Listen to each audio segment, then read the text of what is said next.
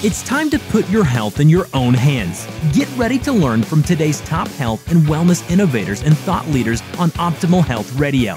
Now, here's your host.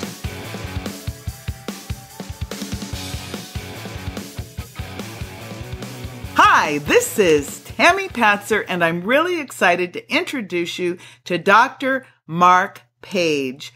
Dr. Mark Page is the author of Freedom, the Smart Parent's Guide How to Help Your Child See a Better Life, and learning how patients can have freedom from daytime glasses using Invisalens.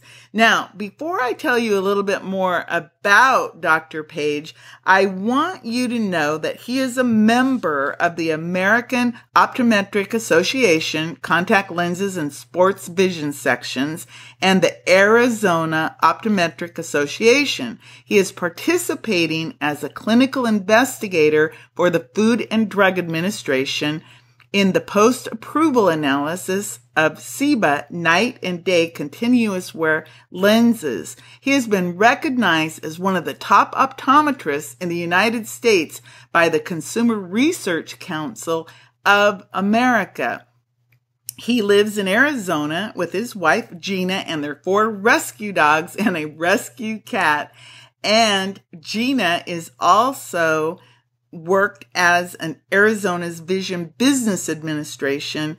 And of course, over the years, her role has changed. But I want to really focus on what you're doing today, Dr. Page, because this is huge because our kids have just returned to school and many of them, maybe they are you know, start complaining about different issues like, Hey, mom, I can't see the board.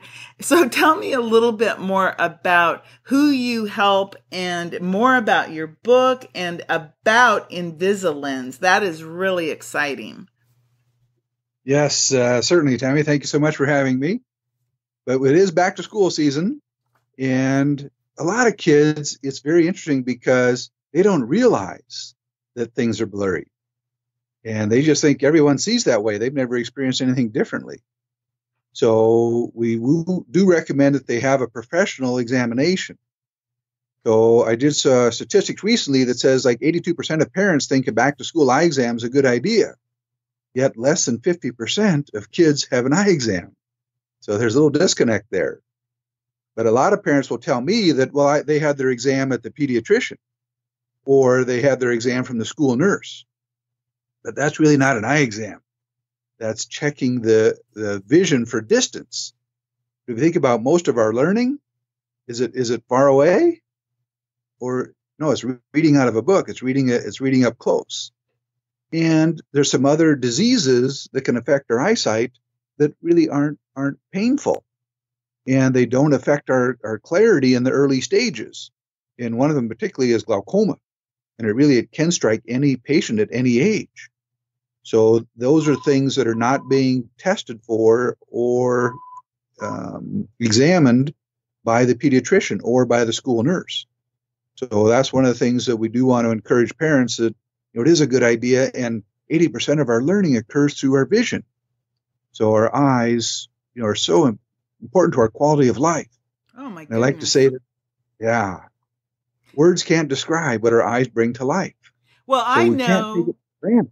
I know I'm a visual, I, I see myself as a visual person because I get a lot of information through my eyes. And it's funny that you bring that up about the school exams for, for eyesight. I remember being taken into a room and I was supposed to cover up, you know, my right eye and, and tell them what I saw. And then I would cover up my left eye and tell them what I saw. And that was the eye exam. I did not go to a professional optometrist until I was probably in college and I was having trouble reading. Everything got blurry and I and my eyes ached all the time because I was doing so much close-up reading. So that is interesting how people believe in it, but they don't really understand what a real eye exam is. So I think that's really important. So the book that you wrote Freedom, the Smart Parents Guide on how to help your child see a better life. What inspired you to write this book? Well, the research shows in the last 40 years, the number of kids that are needing glasses to see the board, to see far away, has gone up over 60%. And I'm just realizing that my patients come in and we prescribe stronger glasses. We prescribe stronger glasses every year. It keeps getting worse, keeps getting worse. But we are also realizing when it increases like that, the eyeball itself is actually growing. It's getting longer. So the inside of the eyeball, that's what we call the retina, it starts to stretch. And when we're 10 years old, 12 years old, that's not, you know, that big of a deal, but it's almost like a rubber band. You stretch that out and 20, 30, 40 years later, okay, our body's not as supple. It's not, it, it ages.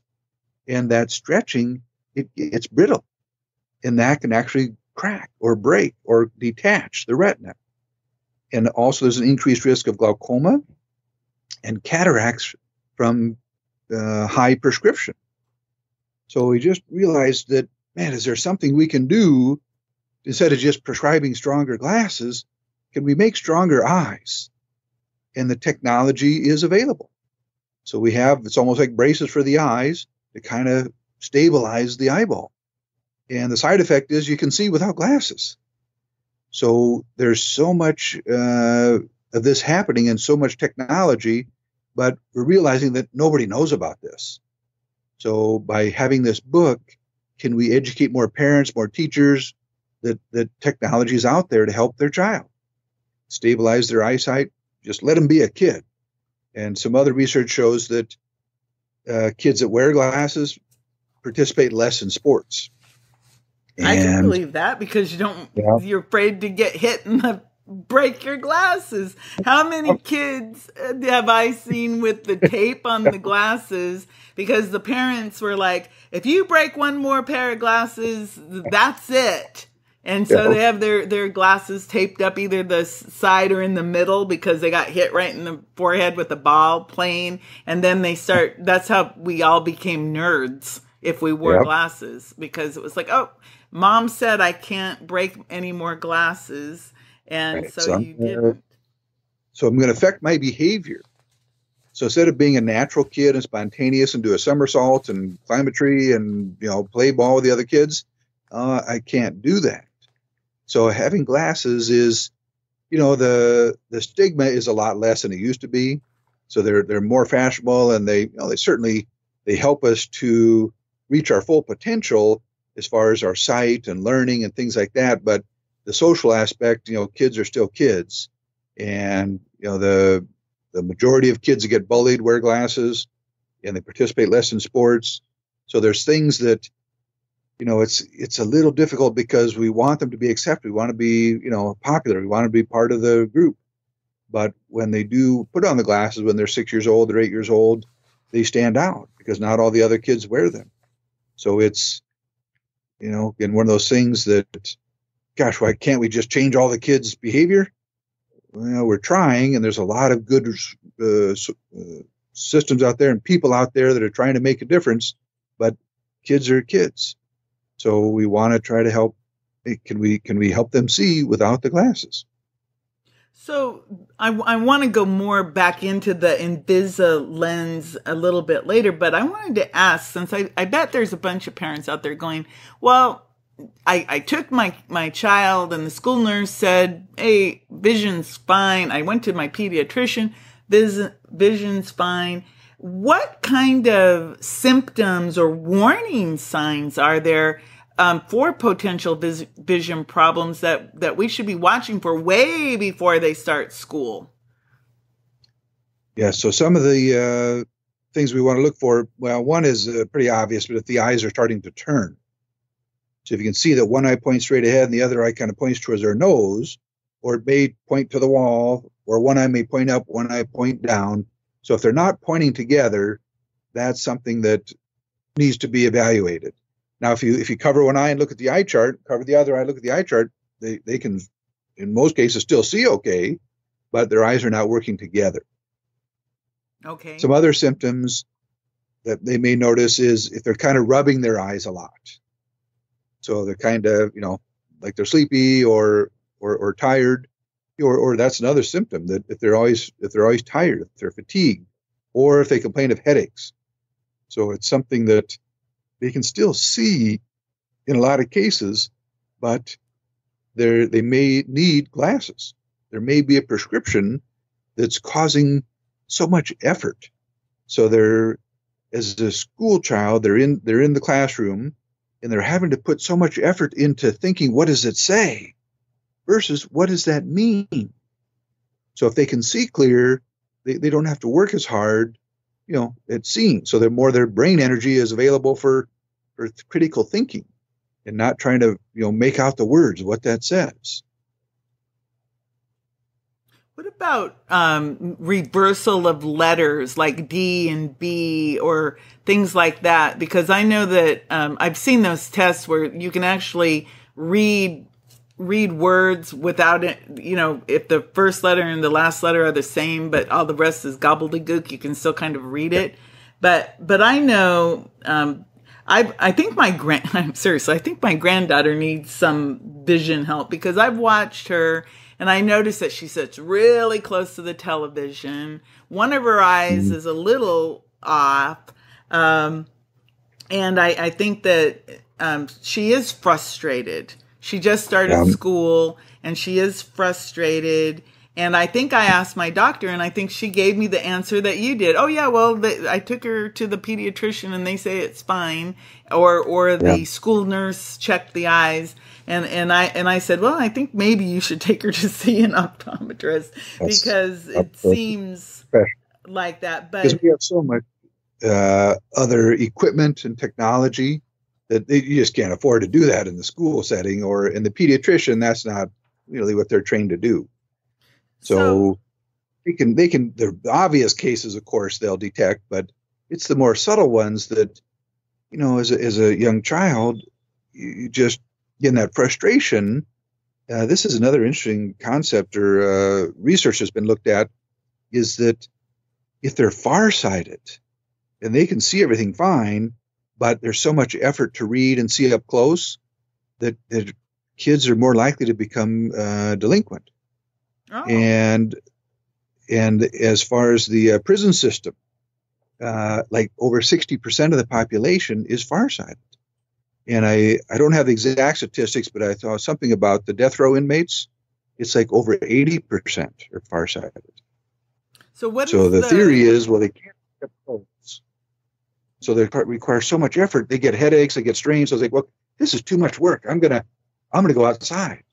I'm gonna mess around. I'm gonna, you know, I'm gonna do other things that don't involve concentrating and reading and seeing up close because it, it's too much effort and it's too much strain and it's okay i'm to do something else and now they're they get themselves in a bad situation so it's it's some very interesting uh, research there with, with, farsighted and nearsighted which one is myopia that is nearsighted okay so so, so see up close just fine but you can't see the board the trouble seeing the tv things in the distance so that's where the kids want to be up close to the tv all the time okay. they don't want to sit on the couch and watch because they can't see it from back there. They have to be up close.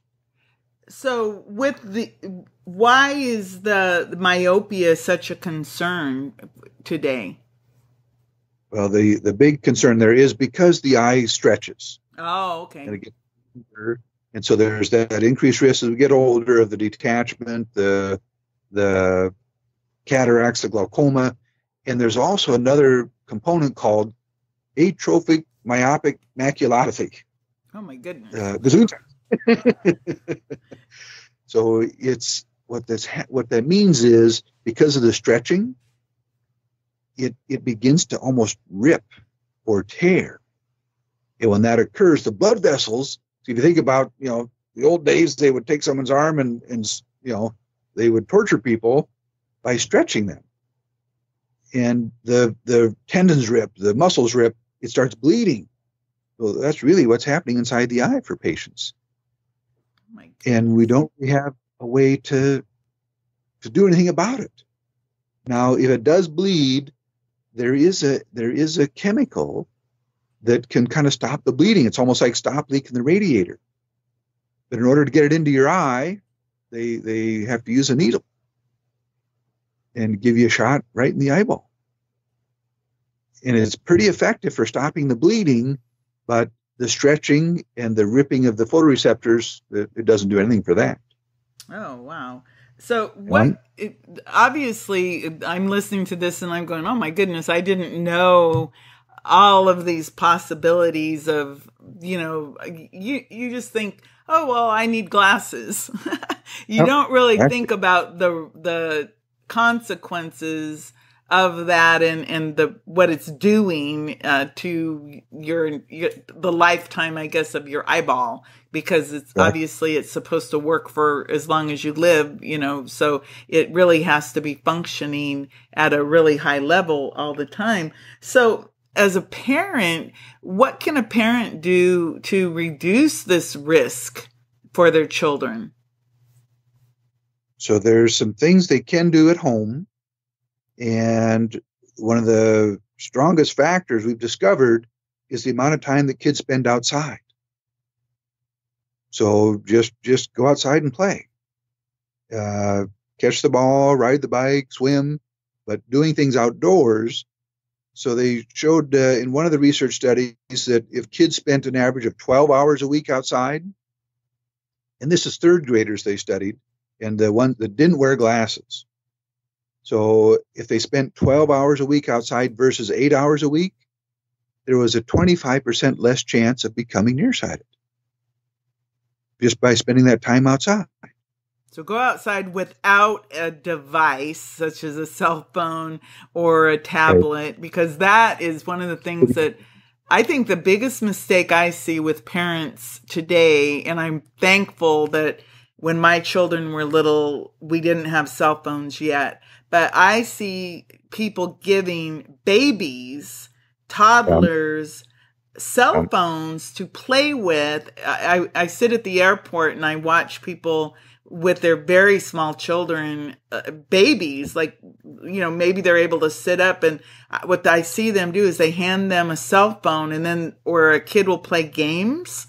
And yeah. there's a, also a restaurant in town where um, they bring their kids in and they sit out there doing their homework and all of it, all of them have a tablet and they're playing whatever educational games on the tablet and they're not playing outside. And I look at my life and my children's life and it was like, go outside and play.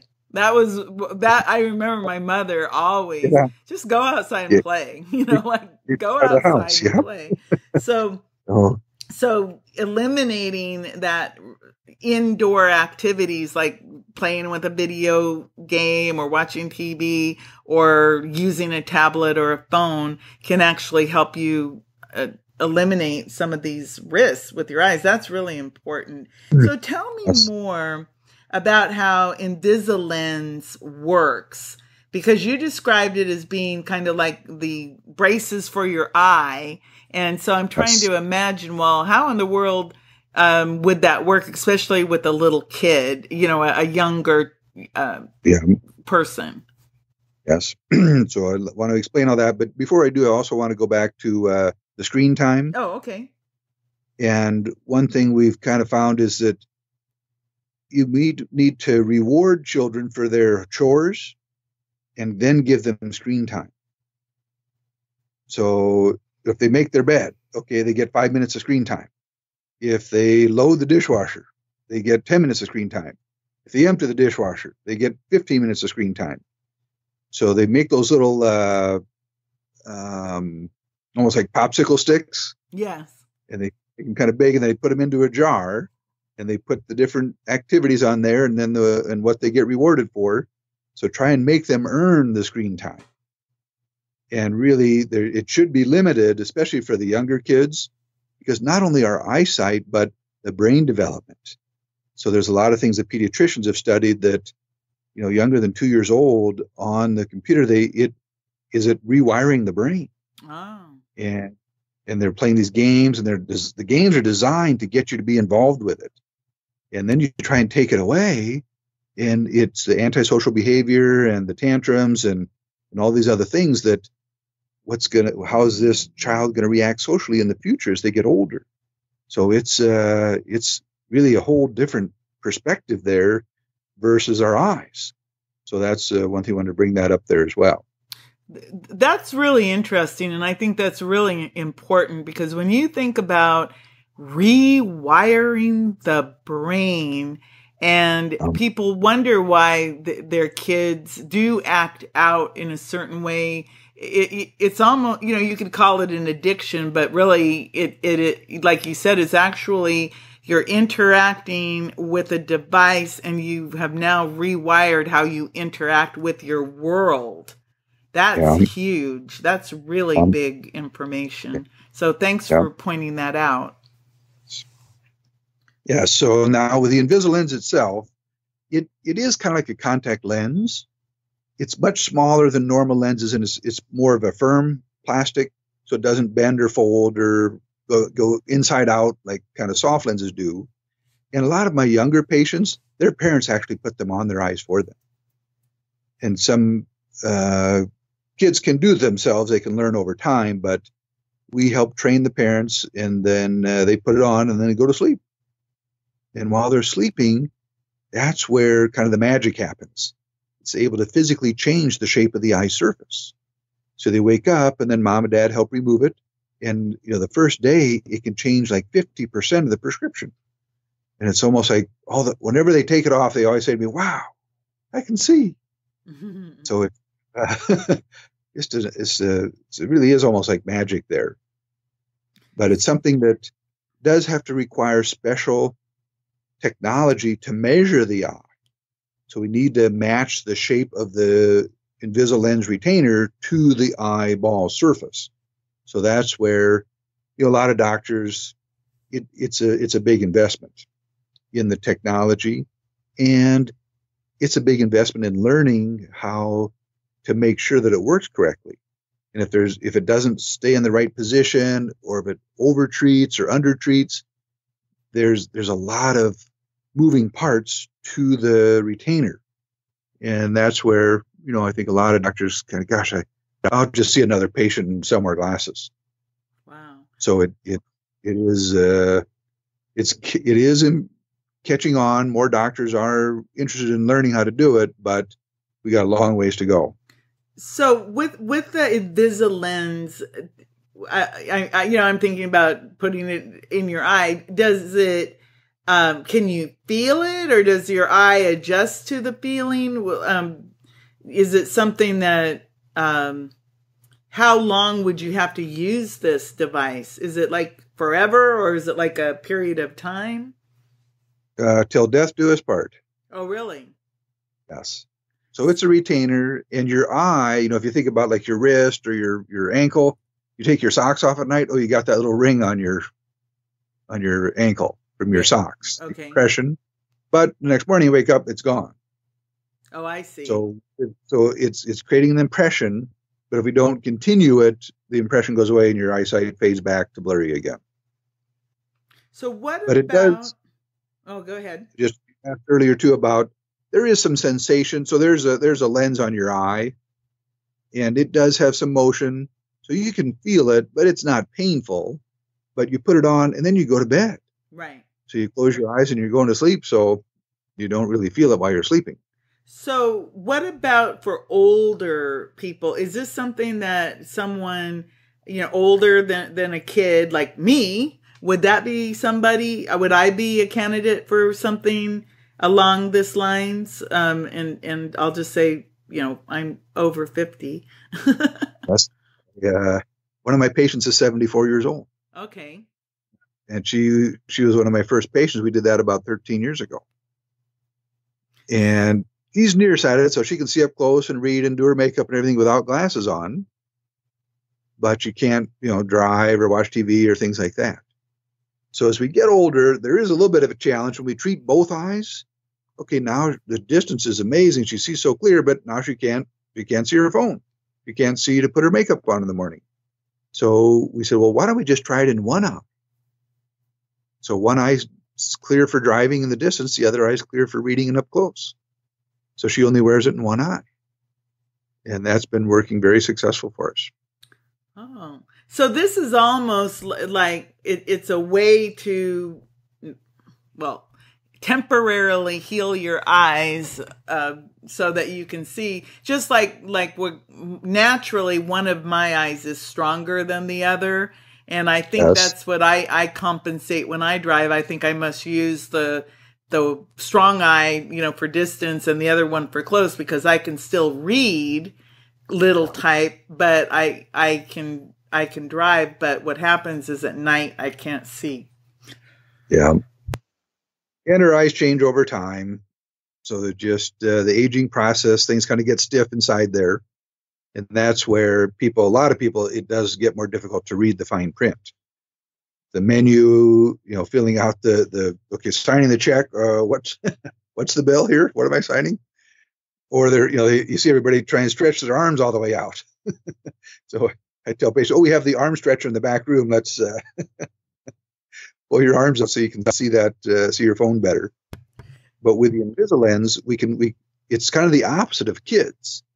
So the lens is designed where because when we're nearsighted we we can't see far away, our eye is too long.